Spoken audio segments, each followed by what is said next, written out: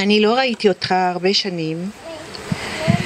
אה, כל עוד שגרתי בחוץ לארץ, אבל אתה הבן דוד שלי, היום אתה כמו אח שלי. היודע לתת, להיות נוכחי, לעזור. אני גם רוצה אולי לתת,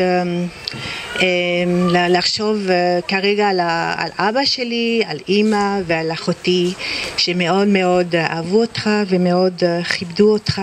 אתה תמיד היית חיים, תמיד היית איתנו. אני מאחלת לך הרבה בריאות, הרבה אושר, ושהמשפחה שלך הקרובה תמיד יהיה, תהיה יחד קרובה לך. מזל טוב ואני אוהבת אותך חיים.